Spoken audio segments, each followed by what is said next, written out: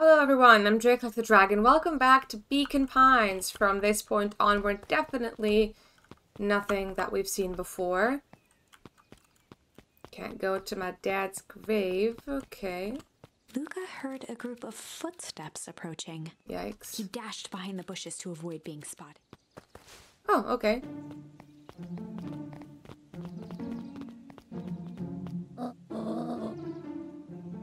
So we all understand our roles.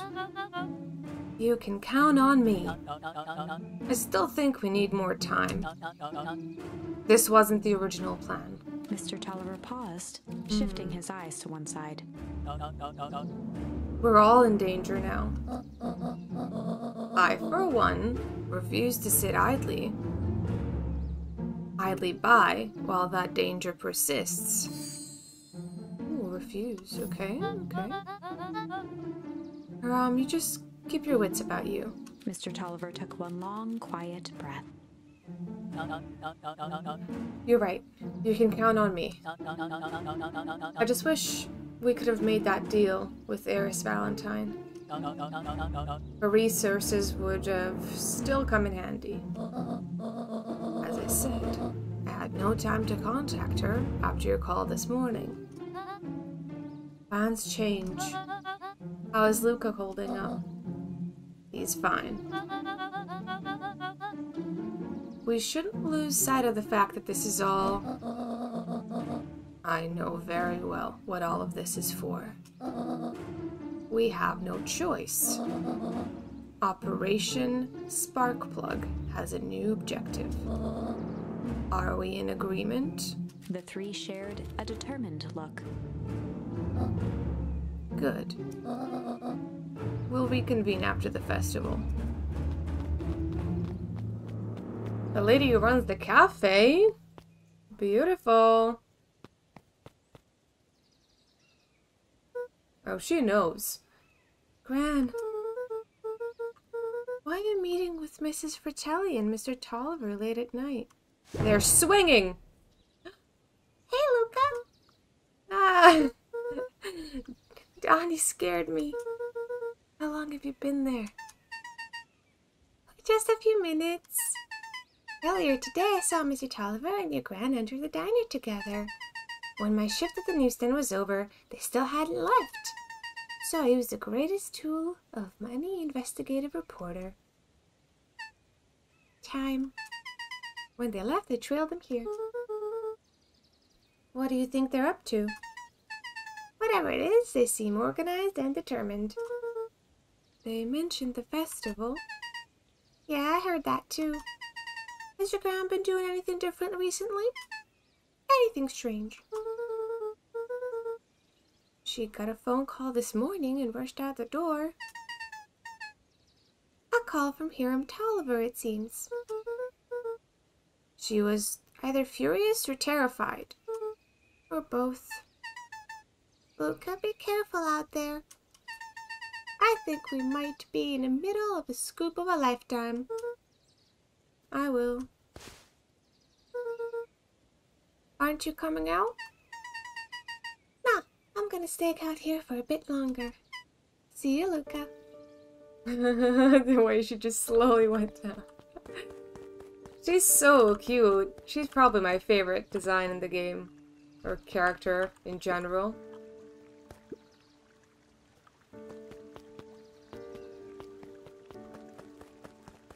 Okay, what are the uh, kids doing out here? I did it. I changed the sign. Splendid. Did anyone see you? I don't believe so. You were right. It was simple enough to just rearrange the letters. Odd choice for a prank, though. In situations such as these, odd is good. The two boys shared a mischievous grin. Okay. Can't wait for everyone to see the big reveal. Should be quite memorable. Let's make ourselves scarce for now.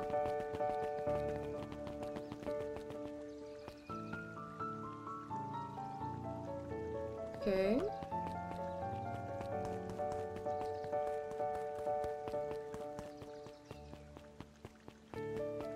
Perennial harvest. Harvesting your perenniums since... Okay. 2000 and something. Oh. Really? There's there's nothing around here for me to get? Okay.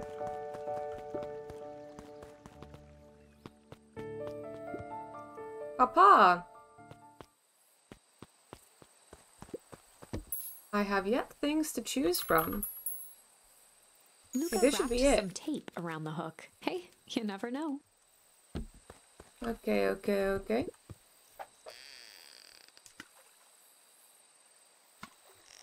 This is the most exciting part of the game, is it not?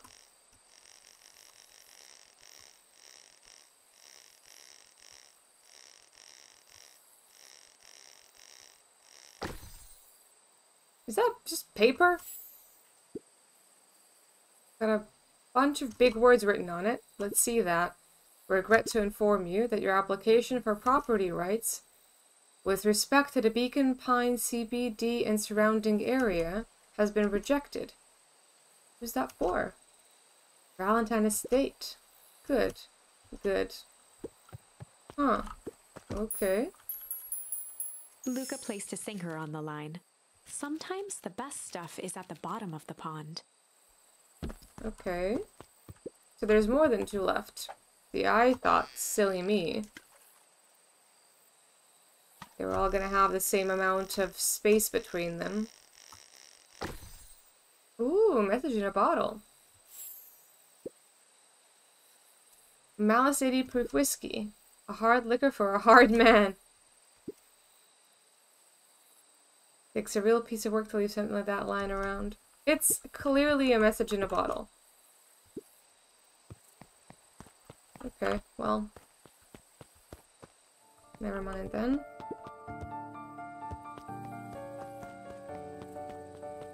Nothing to get there.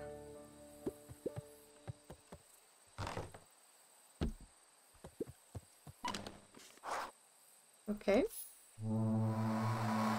Ooh, here we go. Rolo? Rolo, are you there?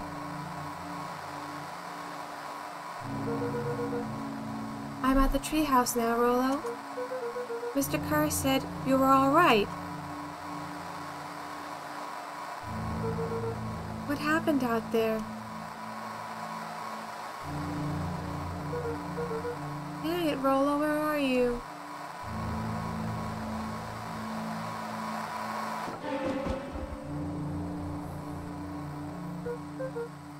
Who's there? Luca could only see a cloaked shape behind the rocket.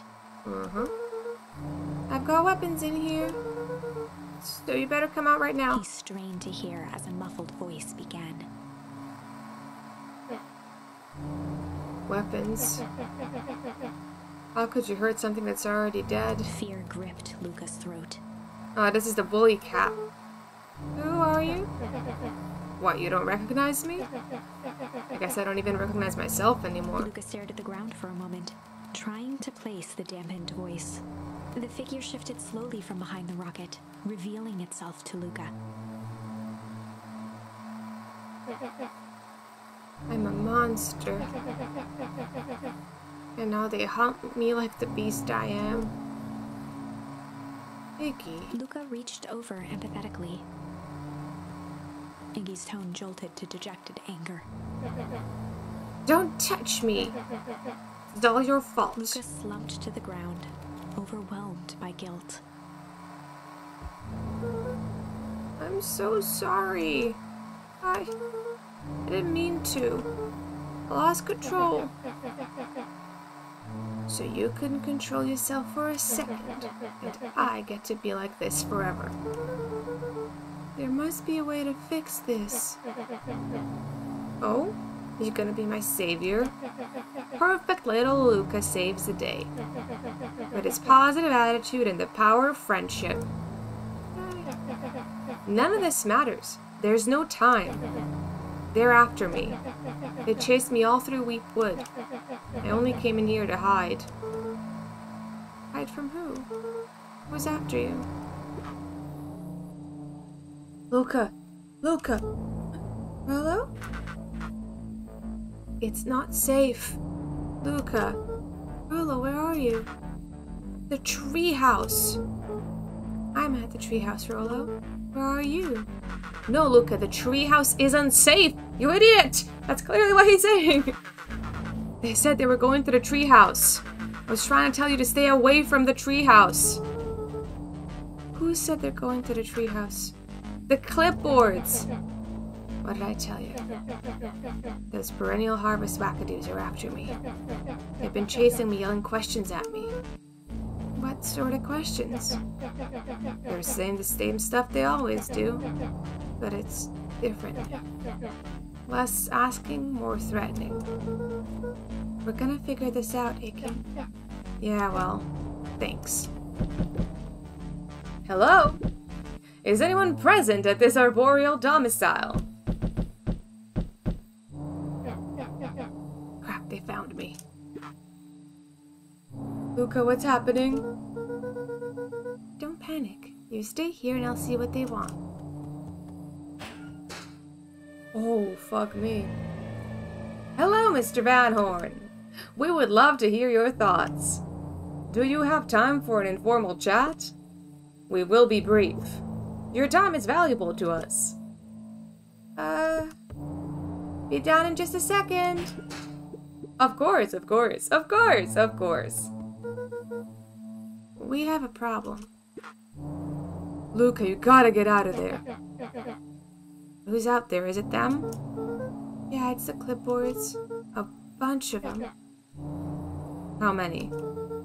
Maybe all of them? And yeah, you were right. They're saying the same stuff, but with the creepy knob cranked to 10. Might young Iggy be present? We would love to hear his thoughts. Run. Iggy slumped to his knees. I don't know what to do. I'm just so tired.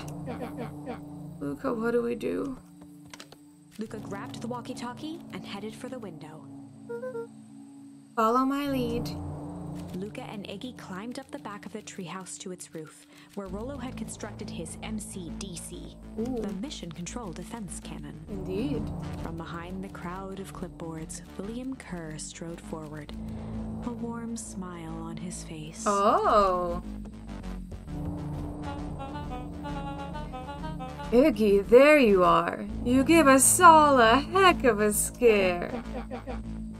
Go away, just leave me alone.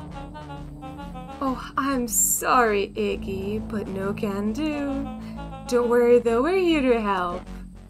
Help? And why are you chasing me? Luca, can you talk some sense into your pal here? Just look at him, he's not well. What's wrong with him? What did that gunk do to him? Well, that's a pretty honkin' big question, Luca. All you need to know is that he is sick. He's real sick, Luca. I just need you to let us up there and take care of him. You told me Rolo was okay, that he was back at this place resting. He is! Poor fella just got a little lost. That's a lie. That's a hurtful thing to say, Luca.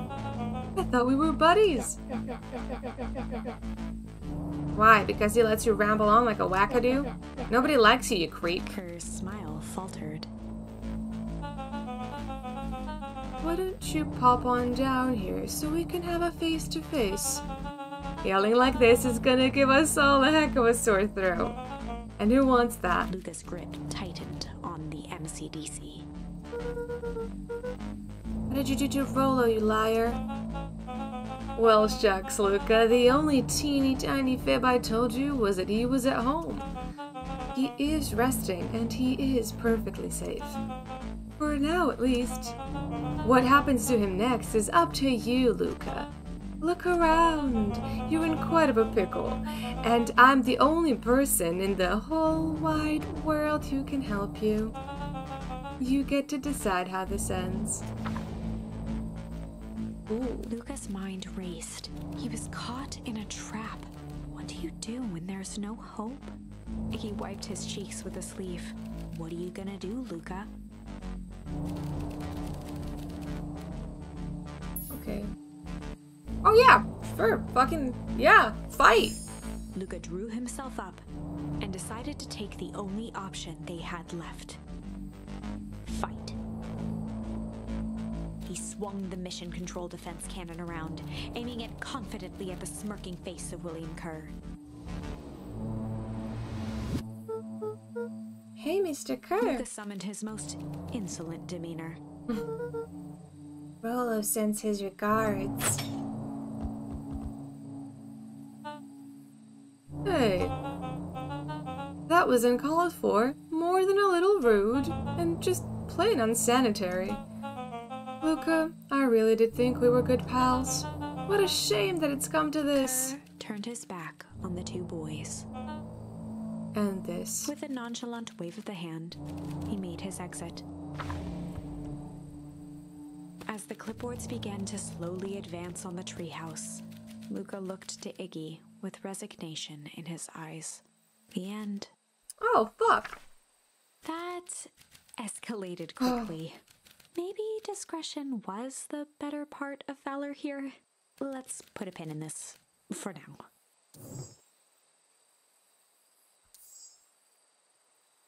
Damn it.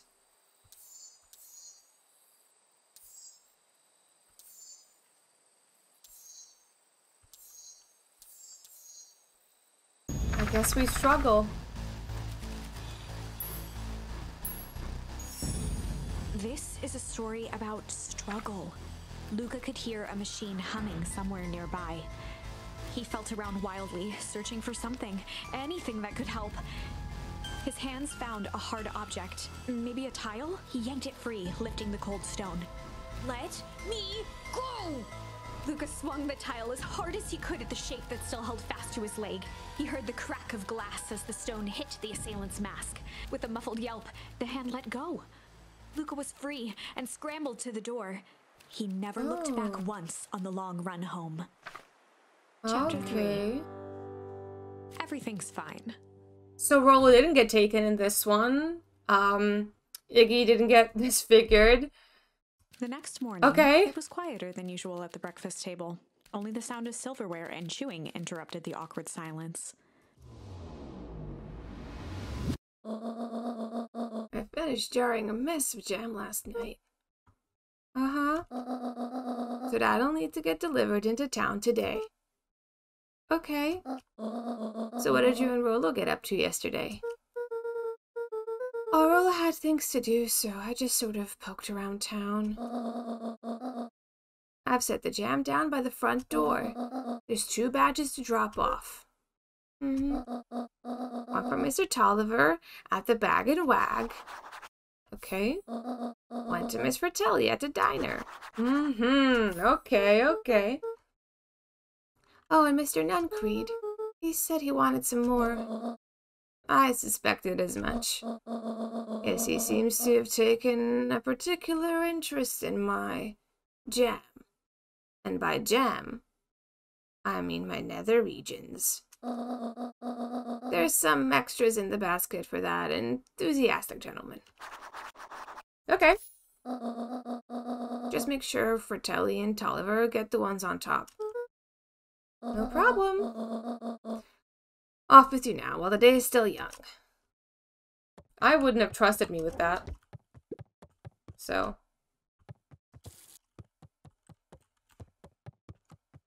Hee Just a little guy.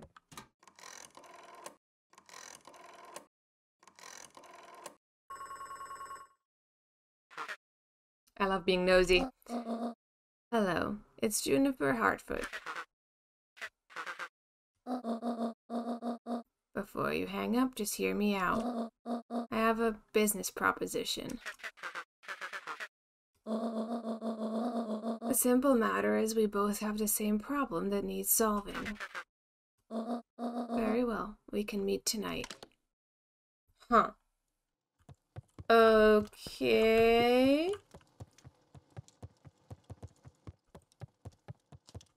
Can I use my walkie-talkie, talk to Rolo or anything? Nope. Can't do crap. Okay.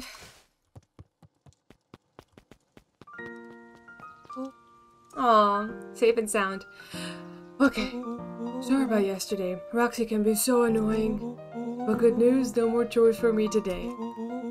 Did you make it to the old Valentine warehouse? So what did you find? Give me the dirt. Something happened. There was someone else there.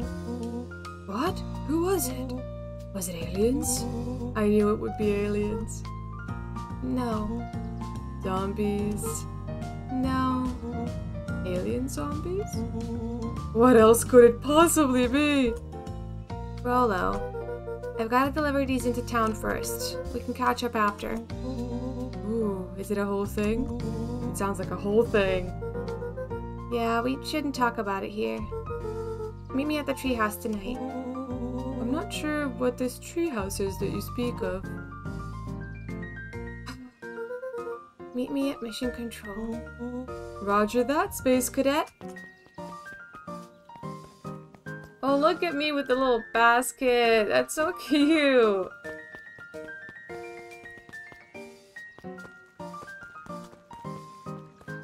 Oh, hello, buddy. How you doing?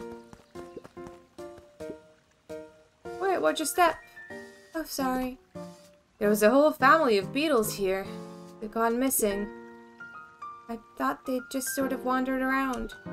Everyone has a home, Luca. Even beetles. Luca checked the soles of his sandals. I think we're okay. It's weird that they're gone. They went missing when festival preparations began. You think the noise scared them away? Something like that. Just watch where you step, okay? Sure, sure, sure. Yes, yes, sure. Of course, yes. Yeah, yeah. You're not moving. Good for you.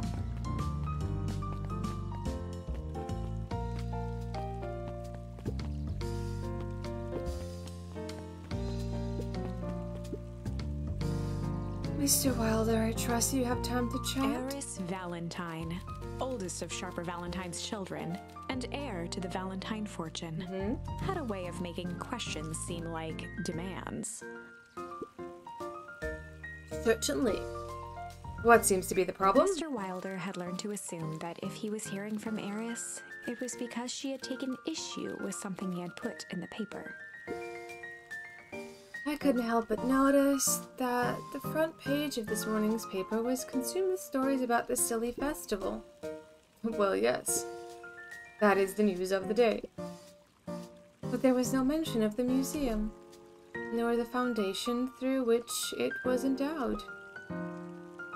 I'm sorry, Miss Valentine. My readers are more so interested in this town's future rather than in any one family in particular. Hmm. There was a time, Mr. Wilder, when the goings on of my family was the only thing this town cared about. Well, things change, ma'am. And you know, change is dangerous. You finish that thought, I will make that monocle a permanent fixture of your anatomy. My apologies. Good day, Miss Valentine. Did I give you the impression this conversation was finished? Mr. Wilder averted his gaze Damn. to polish his monocle. Well, good day, Mr. Wilder. Ooh, shit, shit. Get dunked on, boy.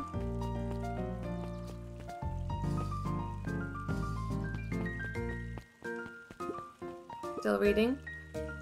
Anger from the past, mistakes not yet made, and a glimmering hope for the future. He carried them all in equal parts everywhere he went. Oh heavens, what a burden to bear! Okay. Oh, hey, friend. My favorite one. Hey, Dawn. Oh. Hi, Luca. What's up? Ah, they got you on jam delivery, eh? Yep. Haven't seen the new kid around yet? New kid. Yeah, came in from the big city. Our parents both got jobs here. But get this, one of them is working for William Kerr and Perennial Harvest, and the other one is working for Eris Valentine. The Valentines represent Beacon Pines past, Perennial Harvest has positioned itself as the town future. I am flubbing so many words. I'm really sorry, but I'm struggling to actually see all of the text because of my mic. The screen's kind of low. Must make for some interesting dinner table conversations. I can imagine. They're lesbian spies. That's what they are. Well, if it isn't my favorite little jam runner, I want to marry you. Hey, Miss Fratelli. Look at you. forward and pinched Luca's cheek. You're all skin and bones. Is your grand not feeding you? She is, it's just. I understand. You know, I taught your mama how to cook back in the day. You may not even remember, but you and her used to help me out in the diner. See that picture over there? That's you helping your mama back in the day. So cute, running around in your little apron, taking orders. the whole situation just breaks my heart what happened with Eleanor. Ooh. I've got a feeling she's out there somewhere yearning to be with you again. Few things in this world could keep a mother from her son. Luca shifted the basket uncomfortably. Oh yes, let's see here. Mrs. Fratelli lifted the cloth and inspected the jam. Oh, they even have my name on them. How thoughtful. She carefully lifted out her jars of jam. You tell your grand hello for me, Luca. Will do. Luca squinted at the faded photo of him and his mom at the diner. Memories of that day came flooding back. Ooh. Oh, look at me, little boy.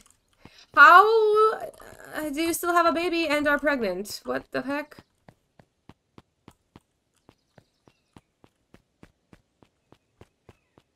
I must be just like filling in the blanks because there's no way.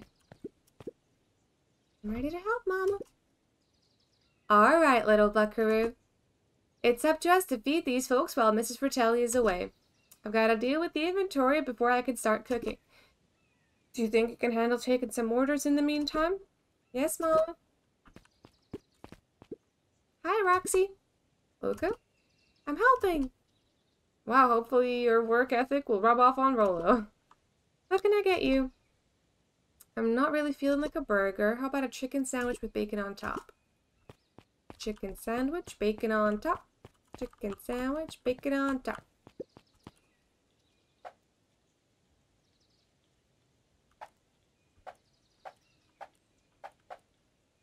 Oh. Chicken sandwich with bacon on top. Nice. Here you go. I call it the Love Me Tenders. Cute. Yes, yes.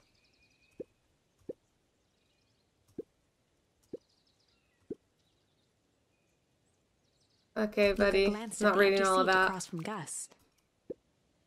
Should I come back? Oh.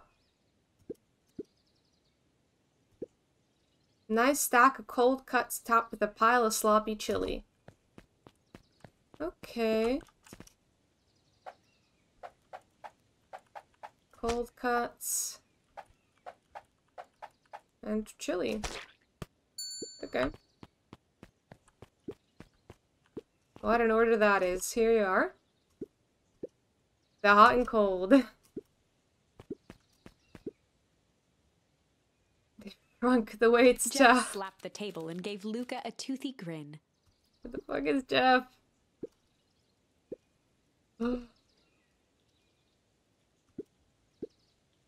okay. Sweet burger with grilled cactus. Okay. If the heart wants what it wants. Yeah, boy. I got you.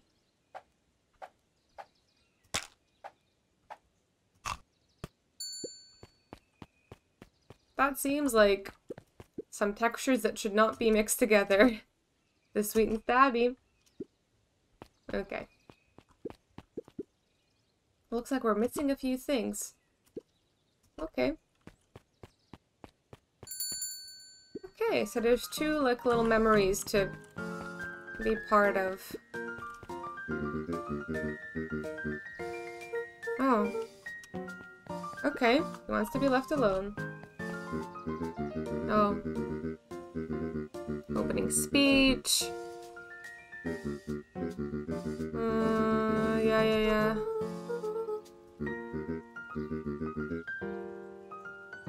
Not cut out for being a mayor or a public speaker, never really chose it. More about duties to his family, for their legacy. Sounds like a heavy burden. Oh, I bet Heel's just gonna make a real mess of things, speaking from the heart. Um, I don't actually know where the other guy is.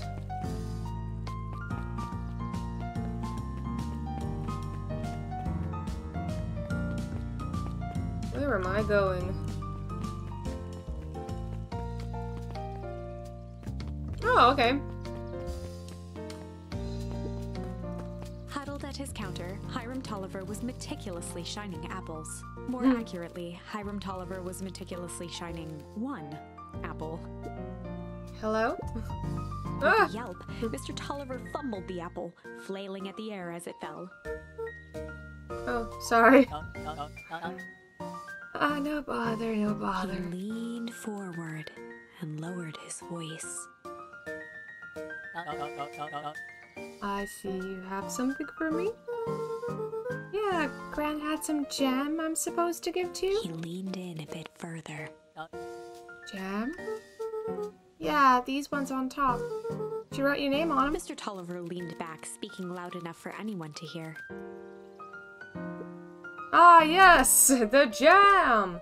Thank you so much for delivering this jam to me. Forward and snapped up the jars of jam, giving Luca a little wink. I shall put it on my store shelves post haste. Okay, I should finish my deliveries. He leaned in for a final whisper. Of course. you are not good at this spy stuff, dude. Really not.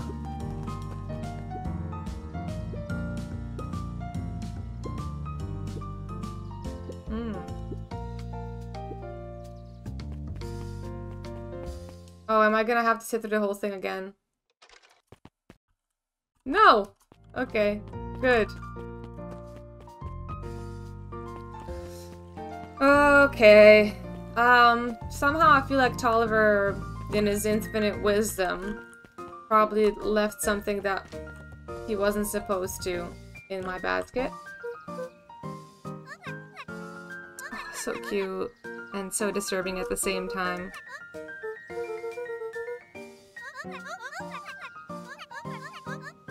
Okay. Kato motioned to the book in front of him.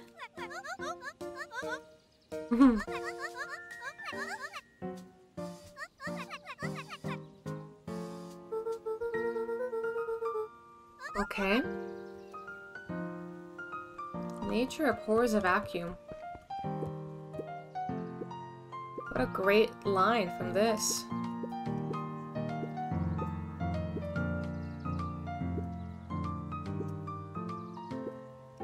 Mm-hmm. Okay. Bunch of cuties.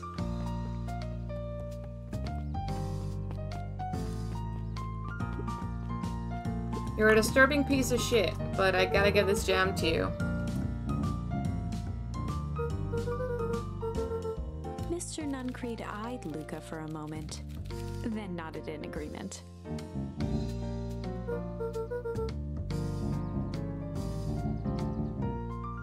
Mm-hmm. Yeah, you wish she dropped them off herself. Also, he was probably the guy in the mask. I don't know why it would be him, but he just feels like it was him. Nuncreed snatched the basket from Luca. Oh, what a piece of shit! Holding on to the basket till he sees her again. Absolute dick. Hey, you. Anchovies or pineapple? What? Don't think. Just answer. Pineapple. Why? How old are you? Twelve? Perfect, follow me. Who are you? Anyone ever tell you you ask too many questions? Just try to keep up, okay? Okay, damn. What just happened? You were just claimed by a girl. Oh, hello. Hey, what a crazy coincidence. Here's my new friend I was just telling you about. Oh, that's wonderful. Yeah, we just hit it off. Oh, really? Get this. His favorite pizza topping in the whole world is pineapple. Um. Beck locked eyes with Luca. The look on her face was equal parts expectant and desperate. Luca Van Horn, nice to meet you. Nellie and Ilona. Oh, Ilona is ethereal. Beck gave Luca a quick nudge. Oh yeah, Beck told me all about you. It already feels like we've known each other for years. So you can both stop obsessing about me making friends. Oh, darling, we never doubted you. It's just that for children with fewer than five close friends, the probability of a stunted development doubles. Well, one down, four to go, I guess. What Nellie means is we just want this move to be as easy on you as possible. You can relax. A friend has been friended. This calls for a celebration. Luca, you must join us for dinner tonight. Dinner? Wow, another coincidence. I actually already asked him and he said he would love to. It's just wonderful. In that case, we should pick up some groceries. You two don't get into too much trouble now. And that's how you make friends. wow, I can't believe that worked. Thanks a ton. You're welcome. I owe you one. My moms are great and all, but they can be a bit much sometimes. Our house is a little cottage next to the big mansion place. Yes! Wait, you live on the Valentine estate? Yeah, that's the spot. Meet me by the big creepy gate. Don't be late. Or I'm back to square one on this whole friend grift. Great, see you there. Okay. Okay,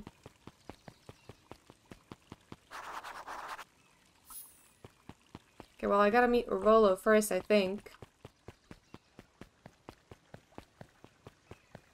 Come on. Can't possibly get stuck on the gate every time. And I will. Oh.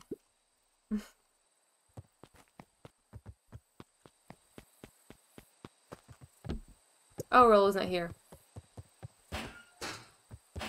It's the morning. How can I possibly be expected to just go to dinner already? Oh my god, okay. I'm just going straight to Beck then. Okay.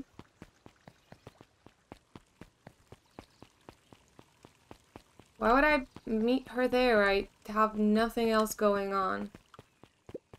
Oh, hello, dude. What's so good about it?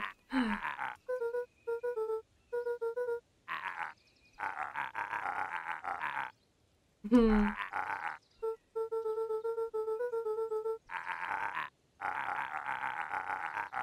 Jeff dug through his pockets for a bit.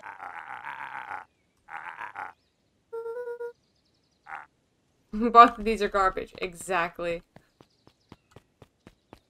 Jeff has a wisdom about him, for sure. Telephone booth is a secret tunnel. Secret tunnel. Oh, shit. Oh there, little buddy. What brings you to this neck of the woods? Was just wandering around a bit. Wandering? How wonderful. Children and their wonderful wandering. Oh, to be young. Anyways, I can't let you pass just now. Top secret business that away. Mr. Kerr winked with a wry smile. Oh, I'm just yanking your chain. Perennial Harvest is just making a He gave Luca Few an energetic improvements. thump on the shoulder. Better head home now. Our harvest awaits. You're so creepy! My god!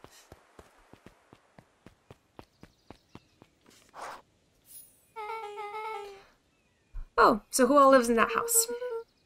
Eris and Gus Valentine grew up there, and Solomon moved in a few years back. That creepy little kid in the vest? That sounds like the one. So just three people live in that huge thing? But a bunch of shady stuff happens all the time in a place like that. Not really. The Valentines pretty much keep to themselves. So it's empty and boring? Pretty much. What a waste. My mom said that it used to be way busier back before Sharper died. Before the foul harvest. Okay, that's like the fifth time somebody mentioned this foul harvest thing. And you all use that same ominous tone. Eventually, you're going to explain to me how that harvest got all fouled up. But we can't keep my parents waiting anymore. This way. That was a very quick day that I just had.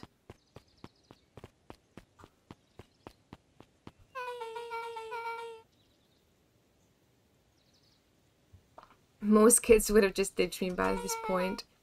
Why are you still here? Well, you look like you could use some help. You know what, Luca? You're not so bad. Let's get through this as simply as possible. Just eat, smile, and nod. Fun. Great, whatever you do, don't bring up their work. I think I can handle Beck that. took a long breath, then gave a firm nod. Here goes nothing. Chapter 4 Okay. Dinner with the Moodwills. Ilona Moodwill was worried about change. A gardener at heart, she understood the necessity of change, relied on it even. But there was a difference between the controlled world of her plants and this cluttered cottage in a strange town. Almost done. Nellie was a blur of activity, digging through boxes. Sorry, love, couldn't find the dishes. We'll have to make do with paper plates. Mm. Dinner went by without much conversation. As she watched Beck and Luca finish up their pizza, Ilona let herself relax into the chair. The things she cared about were still here.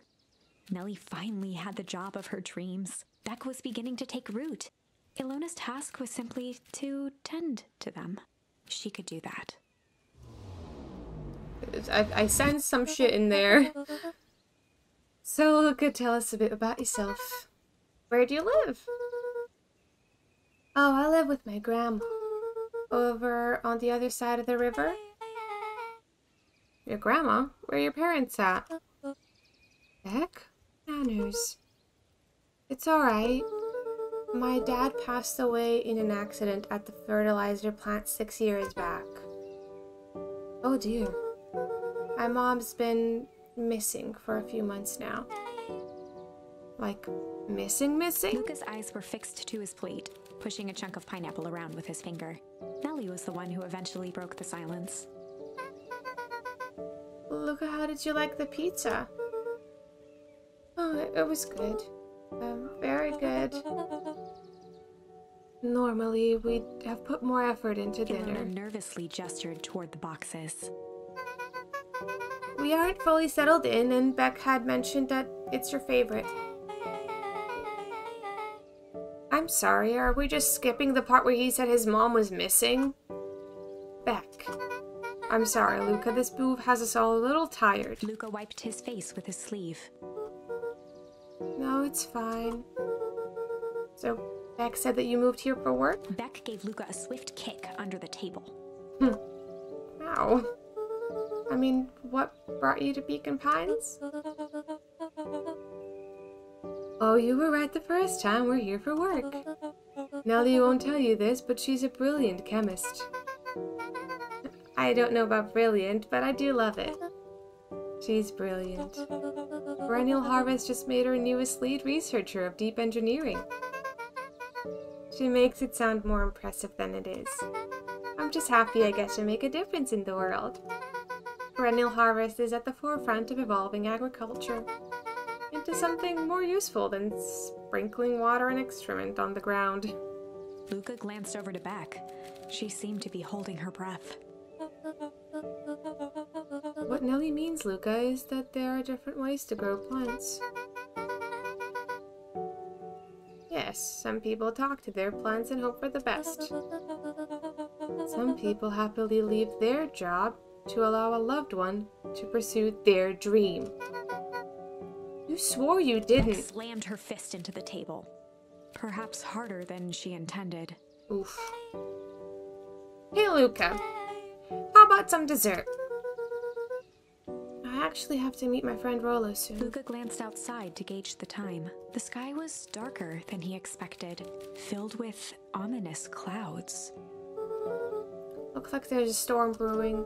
I should get going. Oh, I didn't think there was any rain in the almanac.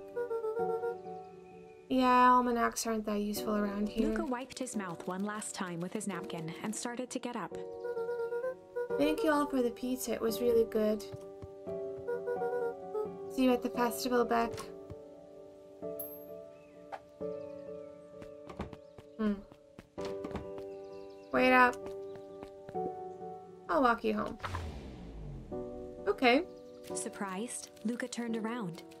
He knew Rolo could be prickly around new people. Oh. But Beck seemed cool. Rolo would warm up to her eventually. Probably. Mm-hmm.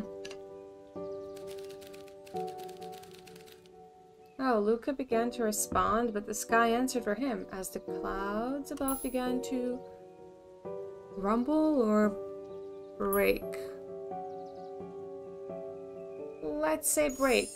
Luca began to respond, but the sky answered for him as the clouds above began to break, revealing patches of star filled summer night. Moonlight filtered down, shimmer. Shimmering in the treetops. Sorry. Sure, you can meet Rolo. You're not going home? No, I promised Rolo I'd tell him Luca about. stopped himself mid sentence. Promised to tell him what?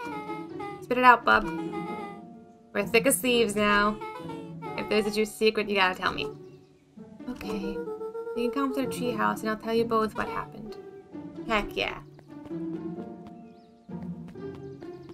Luca saw Beck skulking by the gate. So you're telling me there's nothing mysterious or creepy about this place? It's mostly boring and empty. I refuse to believe that. Big spiked gate, looming mansion, rich, reclusive owners. It even smells shady. Beck grabbed the wrought iron bars and shook the gate.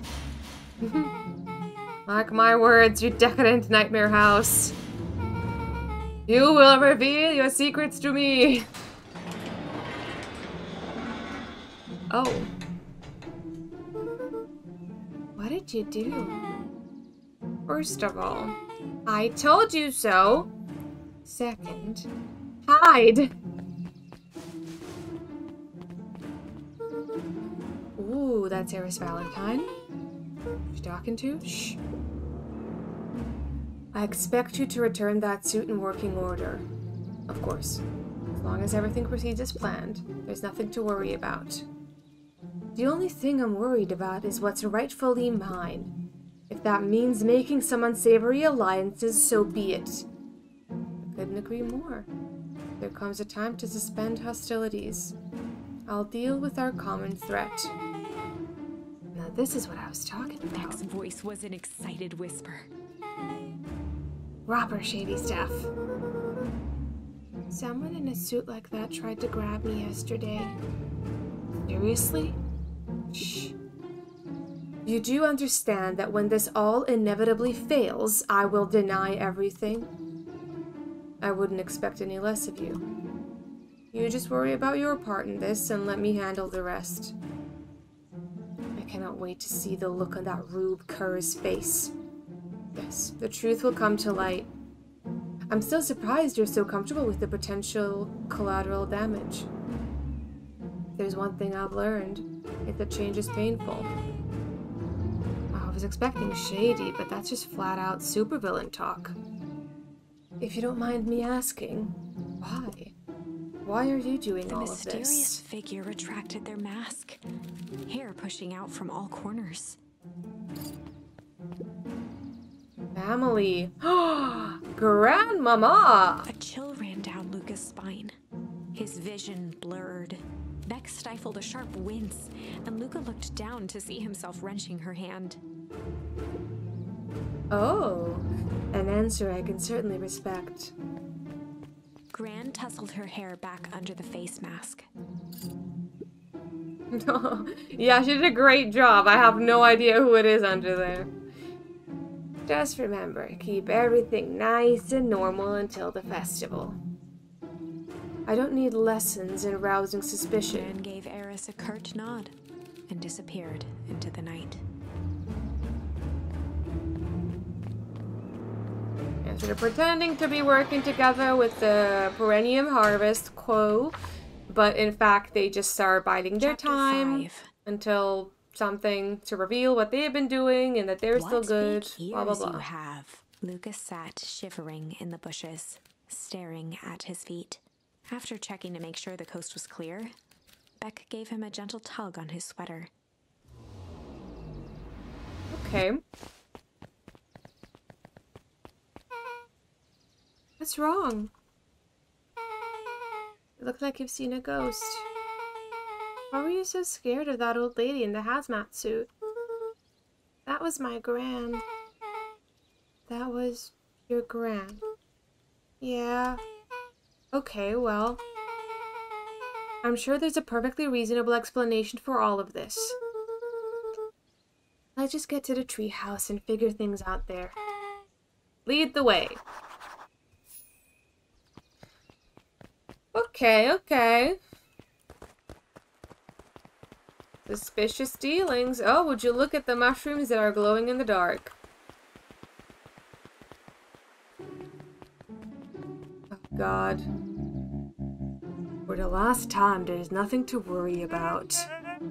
Of course, we're not worried. The Clipboard finished writing with a scratchy flourish and looked up. Just dotting our I's and crossing our T's. Well, maybe try minding your P's and Q's. Mr. Nuncreed, arms crossed over his paunch, gave an exhausted sigh. If there's anything you need knowing, you'll know it. Absolutely. If you'll just sign here acknowledging everything is accurate, we'll be out of your hair in a flash. Oh, for the love of. He snatched the pad and scribbled his name so hard the pen nearly snapped. The clipboards looked at each other for a moment, almost pondering the possibility, then broke into laughter as they walked away.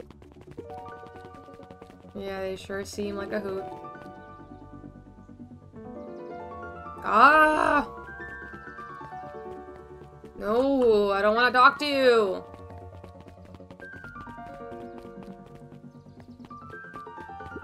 Yes, I do. Hi, Mr. Nuncreed. Luca, let me give you some advice. The next time someone you don't know asks you to hear your thoughts, give him a good hard bop right in the kisser. Oh, Gran just tells me to keep away from the clipboards. That's good, that's good. Your Gran is a smart lady, Luca. Speaking of which, you'd better run along home now. Too dark out to be wandering on your own. I'm not on my own, I've got this stranger next to me. Boy, are you still reading your book by the fountain? Are you prepared to live with the truth? How very ominous. Okay, better get the treehouse. Never mind.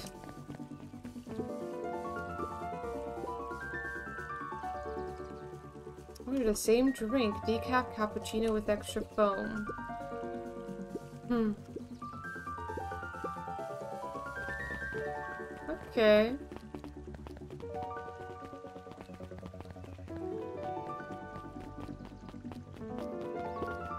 William Kerr and Gus Valentine proudly surveyed the half covered festival banner. Coming together nicely. The nicely. mayor gave a half hearted shrug. Hmm. Oh.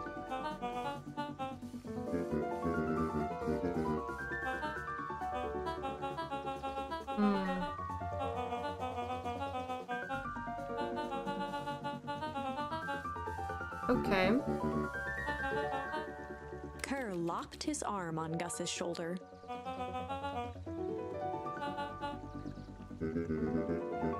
Okay. William, why are you doing all of this? Never felt he needed a compelling reason to throw a party, not just a festival. All of this. There's gotta be a hundred down on their luck out there. Why is Perennial Harvest so interested in helping Beacon Pines? You know what I love most about the agriculture business? Seeds. Yep, little bundles of potential. With a glimmer in his eye, Kerr gestured grandly toward the horizon. You treat a seed right, nurture it, feed it, and it can grow into something truly special. You see potential here. Undoubtedly, the seed of greatness is already under our feet. All it needs is a little nudge, under right leadership, of course. Oh, Good night, Mayor Valentine. I love how we just like listen into people's conversations and they don't acknowledge us whatsoever. He's a creepy piece of shit. But we already knew that. Oh.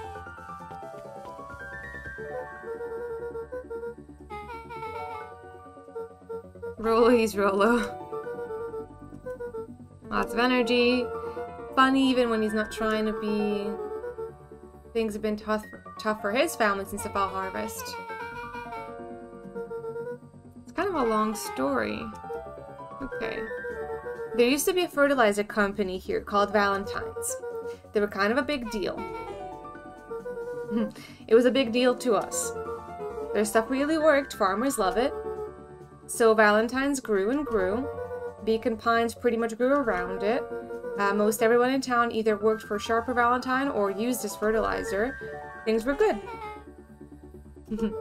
Around six years ago, Sharper Valentine suddenly died. On, and something changed. Could have been a bad batch. Maybe it was in the water, or air, or soil. Nobody knows. But all the crops died. And everyone blamed the Valentines. Valentine's Fertilizer went out of business. Half the town lost their jobs. Next year, the crops came back, but something was different. You plant a crop, do everything right, and it's sort of a crapshoot what happens. No one knows why. For some reason, their farm was hit harder than others. Hmm. Things have gotten better since the Perennial Harvest came to town. First th thing they did was give the town a deep scrub. They even put us up in hotels one town over for a week while they decontaminated the groundwater. Huh. They did some fishy shit, didn't they? I didn't pick anything up, did I? Why am I even... Luca gently good first. Yeah, yeah. Back I go. Okay, let's go. It's about time. I was about to give up and go home. Who's the new kid? Name's Beck. You must be Rolo. I see my reputation precedes me. Welcome to Mission Control. Waggled his head with pride. You'll find we've spared no expense in construction. I've seen worse looking piles of junk. Thanks. Hey, Luca, you know the security concerns we talked about? Yeah? While I was waiting, I made some improvements. Let me lock this baby down for a little test infiltration. Can't be too safe these days.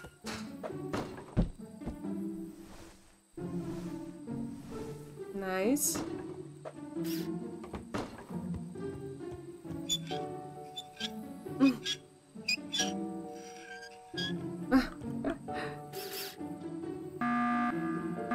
oh no.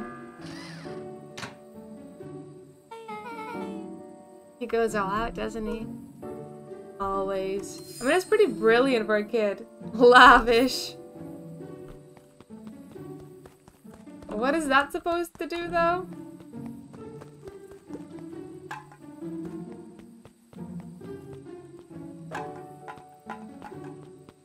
Come on.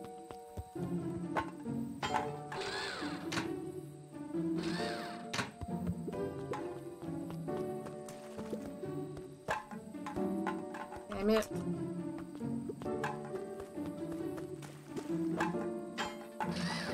Shouldn't be this hard aiming.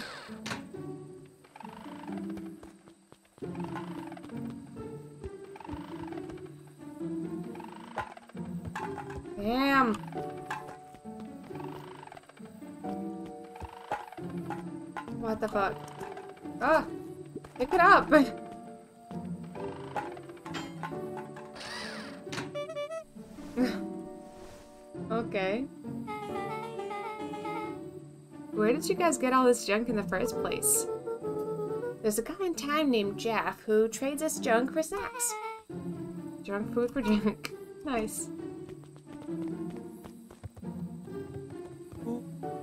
So, pretty sweet security, right? It was imaginative, I'll give you that. Luca, are we sure we can trust a new recruit? I'll vouch for her. Thanks, I guess. Oh, Luca, you promised to fill me in about the Valentine warehouse. Um, Luca sucked in a long breath. here we go. So, like I said, there was someone there. What were they doing? I don't know, but the place was lit up and active. Maybe there were squatters? I don't think so. It seemed more organized. When the man pulled me in, I saw some sort of equipment running. A man pulled you in? Yeah, but I got away. You keep saying it was a man. They were wearing a mask, right? Yeah. And it could have been a woman. How did you get away? Grabbed a rock or something and broke their mask. They let go when I ran. Dang. That's intense. No wonder you freaked out when you saw your grandma. Yeah, that's the other part. On our way home, Beck and I saw Eris Valentine meeting with Gran, wearing the same sort of hazmat suit. Rolo let out a low whistle. And they weren't there for an idle chit chat. It was a proper clandestine meetup. So let me get this straight. There's an operation in full swing at the Valentine warehouse. You were almost abducted by a strange man or woman in a protective suit, and then you saw your own Gran in the same suit talking to Eris Valentine. Pretty much. I'm beginning to think this sounds kind of awesome. and Luca shot back a look. No offense. And so we can logically conclude aliens or alien zombies have infiltrated the town, and their leader is your Gran, and she tried to murder you. First of all, and for the last time, there are no aliens. Second, it couldn't have been my Gran at the warehouse. I broke that person's mask to get away. The mask Gran was wearing wasn't damaged. But she's definitely hiding something. Maybe. Your Gran is weird, but she might be the most boring person in the universe. All she does is sit around all day making jam. What could she possibly have to hide? I don't know. We haven't talked much since he moved in. Moved in? Gran isn't from here? No, she came a few months back to take care of me after. After his mom went missing. Did you know your Gran before? Not really, no. Been years since I'd seen her. Luca, don't take this the wrong way. But are we sure your Gran is on the up and up? Luca gazed out the window. Hmm.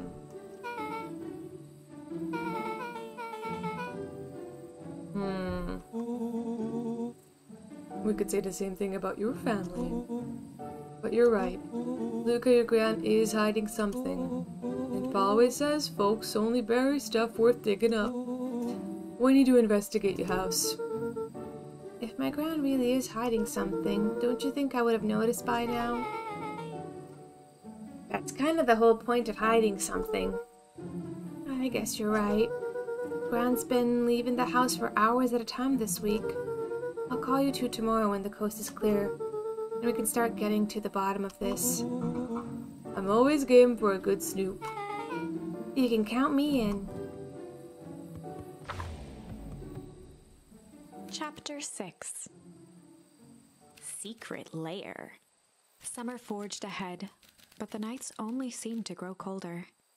I think I may have made a correct choice here. That's actually progressing the He game. walked home slowly under the pale starlight, cautious to avoid any more surprises lurking in the shadows. Reaching home, he slipped quietly into bed, half dreading what they might discover the next day. Aw.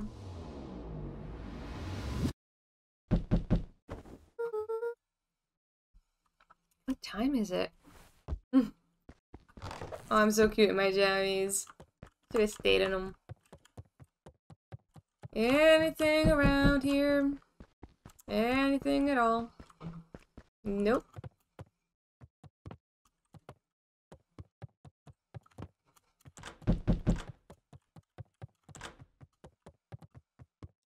Who the hell is trying to force the door so much? You two. Rolo, what on earth is that? Hmm? That ridiculous thing on your head. Oh, this? It helps me think. You're gonna need a lot more of those. Joke all you want. We'll see who's laughing when I crack this case wide open. The coast is clear? Yeah, whatever she's been up to this week, it's been keeping her busy most of the day. Very well. The game is afoot. Luca and Beck rolled their eyes mm-hmm. as Rolo strutted across the room. If I were Gran, where would I hide my deepest, darkest secrets? Perhaps where you might least expect it. Rolo flung open the cabinet with confidence. Aha! He coughed as a veil mm-hmm. of dust hit his face. I think it's safe to assume anything that dusty isn't what we're looking for. Or maybe that's what she wants you to think. Then again, any good detective knows not to trust their first hunch. First hunches are for suckers. Come on, let me explore! Let me look at things also. Mm-hmm. Burn the evidence. Think of the mounds of documents lost to Ash. Is there anywhere Gran doesn't want you to go? Yeah, the closet upstairs. So maybe it stands to reason that we should check there first. No dice, it's locked. Well, well, well. Look who stands to reason now. And I have no idea where the key is. If it is really important, then she probably keeps it with her. Anywhere else? She has her berry bushes. Who's ever thought I'm gonna take this important thing and huck it in a bush? True. Maybe something out of the ordinary. She is always worried I'll break her fancy dishware in the kitchen.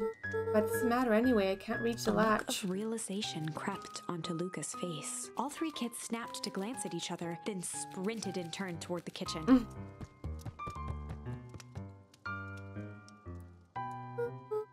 Alright, Rolo.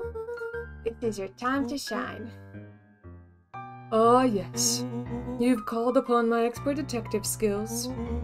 And now I shall proceed Before with. finish, Lucas scrambled up Rolo's back.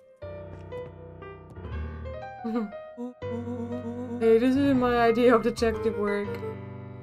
Every squad needs a good lockpick.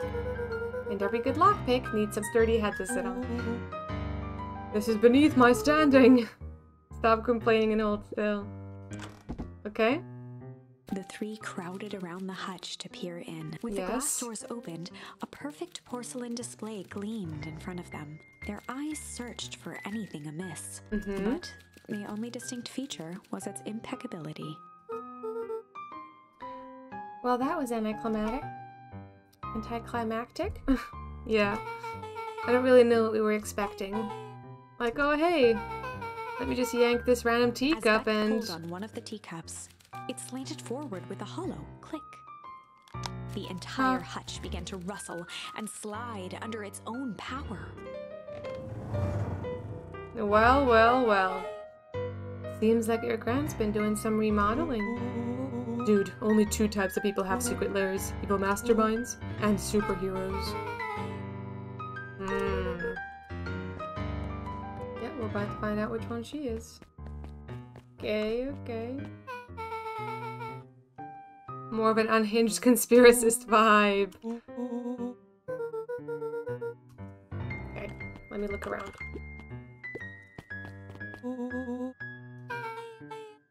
Caution explosive and jam jars. Enough jam to feed the whole town. Incendiary jam. Okay.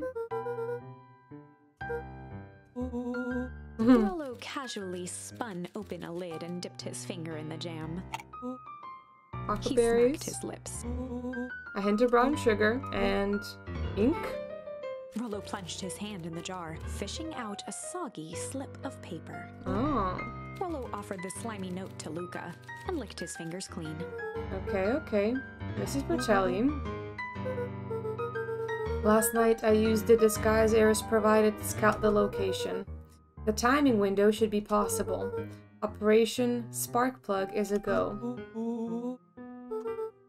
It is can't be good. Mm.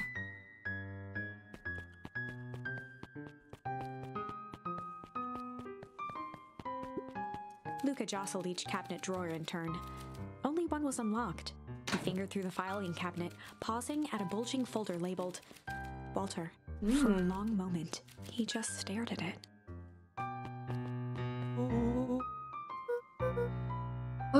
My dad. Looks like some of his old medical files.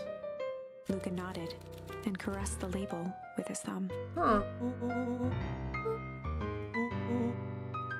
Rolo swiped the folder from the drawer and began leafing Okay. through the pages. He whistled to himself, barely looking at the text. How about you actually read some of it? One sec.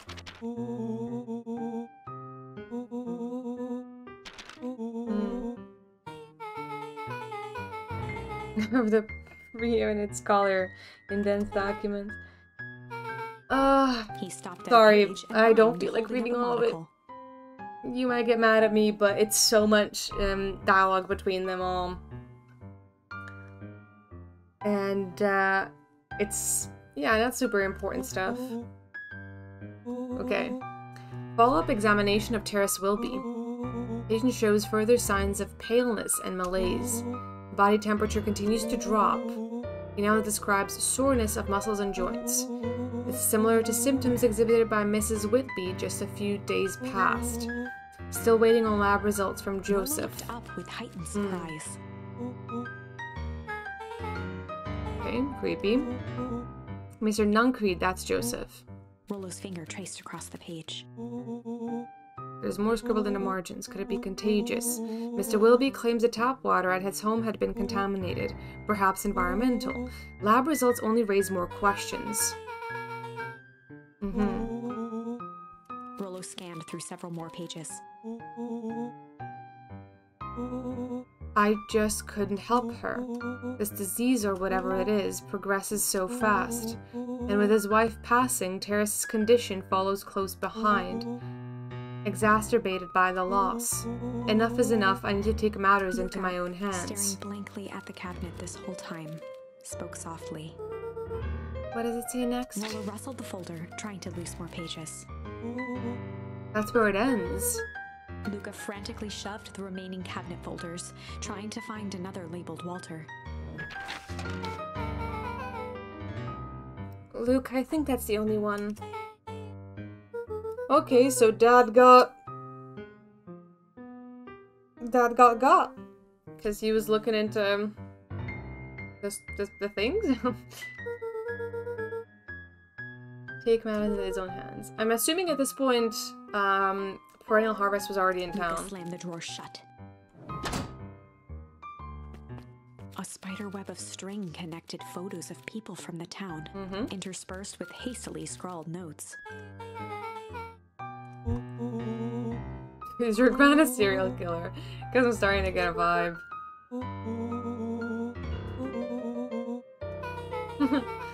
She's just tracking the movements of everyone in town out of the kindness of her heart. She put little symbols by some of them. Mr. Nuncreed has a check mark. The clipboards are all inside a big circle. My moms are both on here, both with question marks. Gus Valentine has a question mark. Eris has a question mark that has been crossed out. Mr. Kerr has a bullseye. The killer has chosen her next victim. We don't know what any of this means, but it's probably not good. Okay. Nothing else for me to see, I think. They crowded around a worn down old map of Beacon Pines. Okay.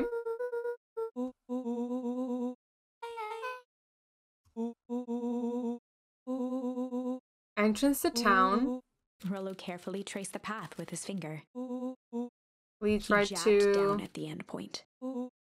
town square. That's the fountain in the middle of town.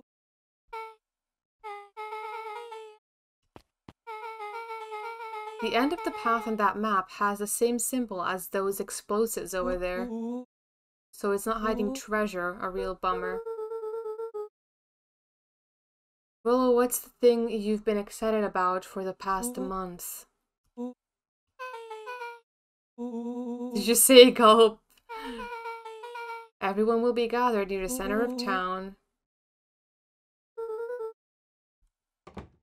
She's probably she's not gonna do that. Come on. Luca looked up from the map.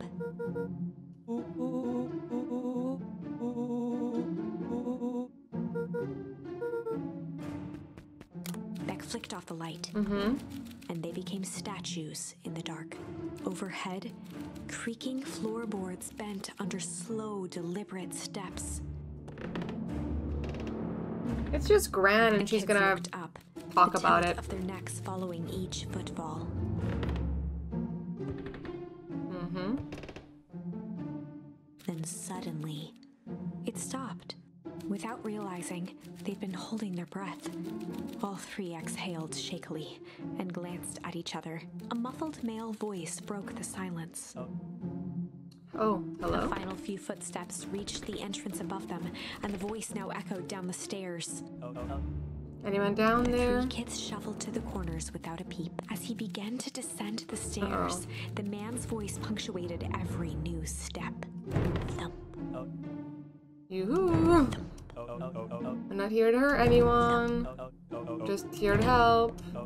Just At the bottom step, the man paused, squinting to search the room for signs of life. oh, guess it's nothing. shifted suddenly. Luca gave him an intense, chastising look and whispered through clenched teeth. Rolo, don't. It was too late. Rolo was already inching toward the stairway. He screeched as he charged toward the shadowy figure. Flaming chicken coop! With all his weight, Rolo tackled the man to the ground. From the dark corner, they saw something move. Hmm. Come on. You just killed that to the person. figure on pressing his fingers to the man's Ugh. neck. You sure clobbered him good, Rolo. He's knocked As out Beck cold. flicked back on the light, Luca and Rolo both gasped in stereo. Mm-hmm. Mr. Tolliver. Chapter 7 The Interrogation of Hiram Tolliver. Oh boy. Still unconscious, Mr. Tolliver slumped heavily in a shoddy old chair. His hands were bound with rope, his feet tied with some loose string. The kids hmm. huddled in a circle, discussing their plan. One thing was certain they couldn't just let Mr. Tolliver go. They needed to know what he was doing in Luca's house. After Yeah. some deliberation, it was decided. Good cop, chill cop. They'd run the classic good cop, chill cop interrogation. Okay. I think I am going to end this one here. My sincerest apologies if this video isn't as fun or anything. Um, I'm just like going through some stuff. Um, some big things happening this week, so my mind is a little elsewhere. But I did still want to play more of the game, and hopefully there'll be at least another video this week after that thing I've got goes by. Uh, not to sound ominous about it or anything, it's just a little bit of a big deal for me, so I'm very anxious about it. sorry that I'm babbling. Anyway, thank you so much for hanging out with me today. If you enjoyed this video, please leave a like or a comment. It would mean so much to me. Hope you're enjoying Beacon Pines. I definitely really want to see where this goes and how the story unravels. So I'll see you super soon with the next one. Bye for now.